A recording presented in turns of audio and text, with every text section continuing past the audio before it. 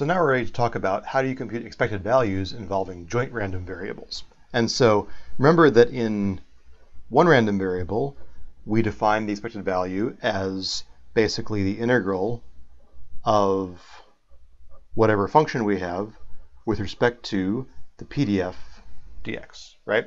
Same thing is true now, except if I have a function that involves both x and y, I need to use the joint PDF instead of the marginal. So if I have some function of both x and y, it kind of stands to reason that what I do is I integrate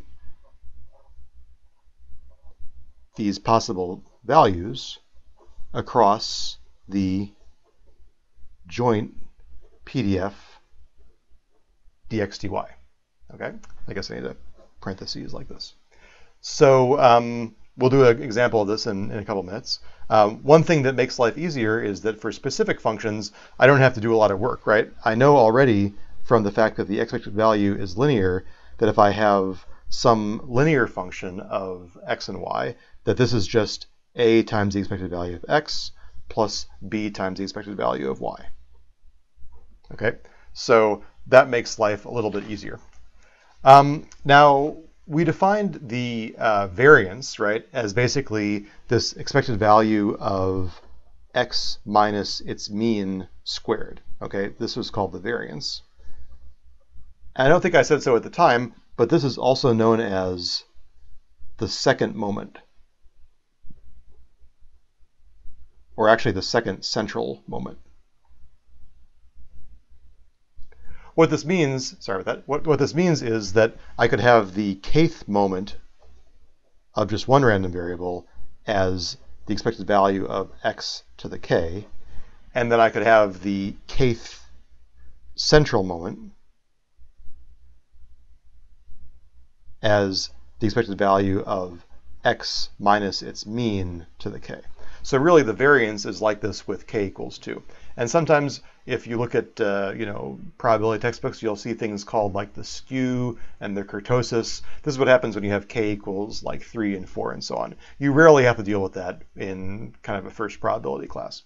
Now, when I got two random variables, then things are more complicated because I could have you know one power for x and one power for y. So basically, there is such a thing as the j kth moment for a joint random variable, which is basically the expected value of x to the j, y to the k, which I would get using the sheet of paper previously, where I'm integrating this function against the uh, joint distribution, right?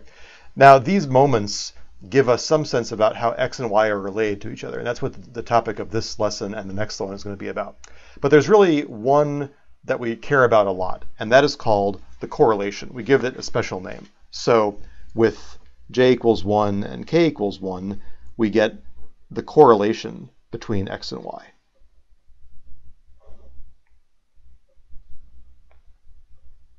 And that's just defined as the expected value of x, y.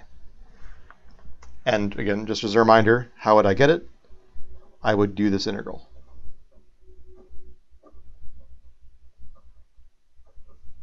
dx dy. Okay.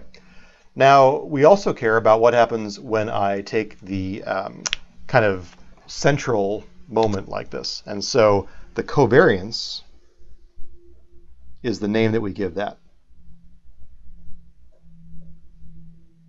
So the covariance between x and y is the expected value of x minus its mean times y minus its mean. Okay. And by linearity, I can work this out to say, okay, well, this is like the expected value of xy minus mu x e of y minus mu y e of x plus mu x mu y. And I can actually see that this is the same as mu y, this is the same as mu x, and so I get some cancellations, and what I actually find out is that this is equal to the expected value of xy minus mu x mu y. So it's like the correlation minus the product of the means.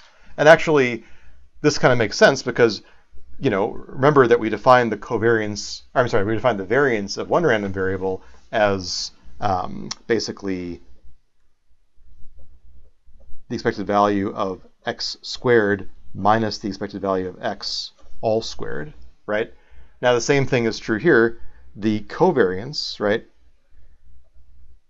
If I think about um, putting in both, you know, if I just have, you know, y equals x, then I get exactly the same thing, right? So if I have uh, the covariance of x against itself is basically the same as the variance of x. Okay, so it makes it it makes sense that we call this the covariance because it's like kind of x varying against something else. Okay, so critical concept. Last time we talked about this idea of independence. Okay, so if x and y are independent, what happens? So let me write that on a separate sheet. So if x and y are independent,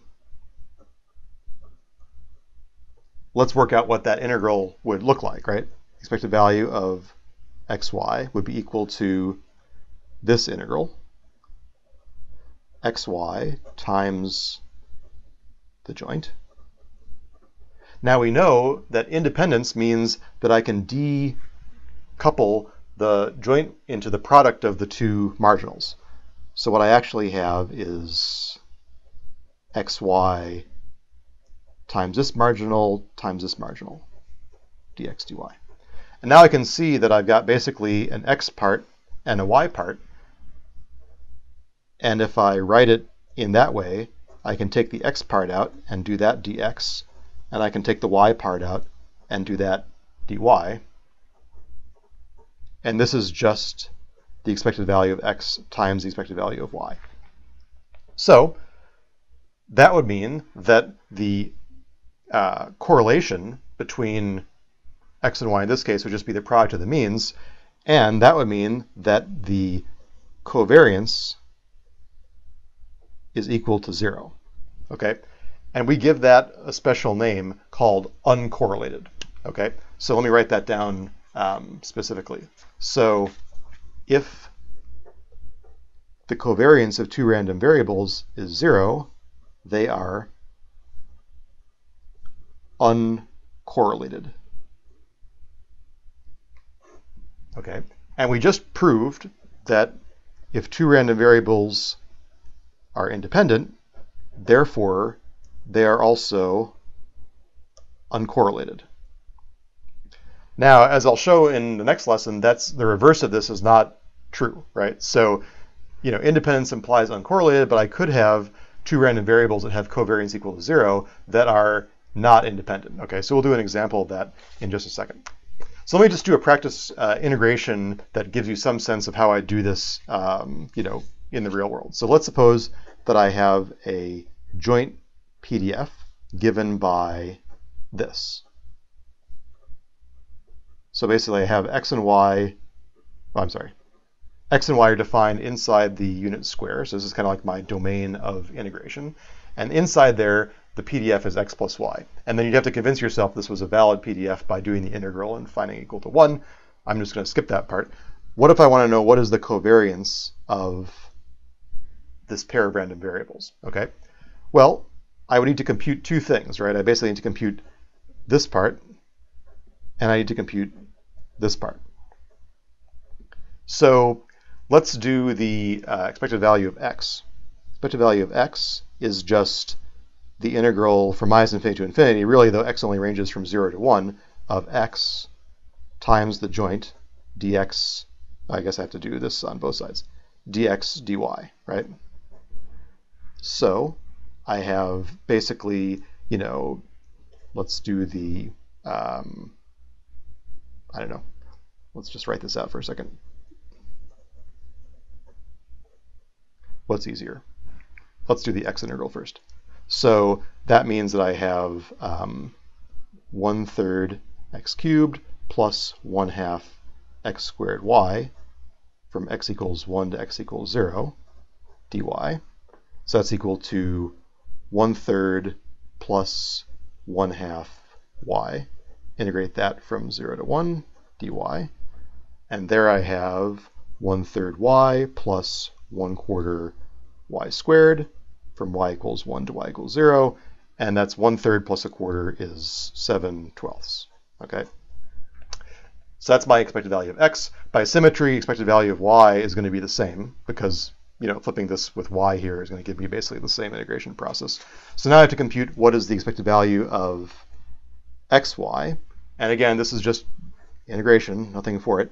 So I have xy times x plus y dx dy. So I'm going to get an x squared y plus an xy squared dx dy. Doesn't really matter. Let's do the x1 first. Again, you could use Wolfram Alpha to do this, but you know, honestly, by the time I type this in, it will be just faster to do it this way. So I have 1 third y plus 1 half y squared. How fast can he integrate? It's amazing. Hopefully I'm not making any mistakes.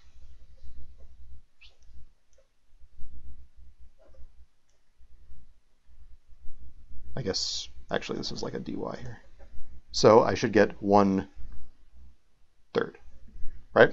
So now I have the covariance is going to be expected value of xy minus the expected value of x times the expected value of y, which is 1 third minus 7 twelfths squared. And so I have to figure out what the actual number here is. This would be 48 over 144. This would be 49 over 144. So I get negative 1 over 144. Okay, so first of all, since the covariance is equal to 0, I can say that these variables are correlated, right? They're not uncorrelated. And one other thing to note is that I found out here the covariance is negative, and that's okay. Um, you know, unlike the regular variance, there's no rule that says this has to be positive. Um, and we're going to talk in the next lesson about uh, how do I interpret this in some useful way? It actually makes more sense to scale this according to the variances of x and y, and that's what we're going to do in the very next lesson. So I'll see you there.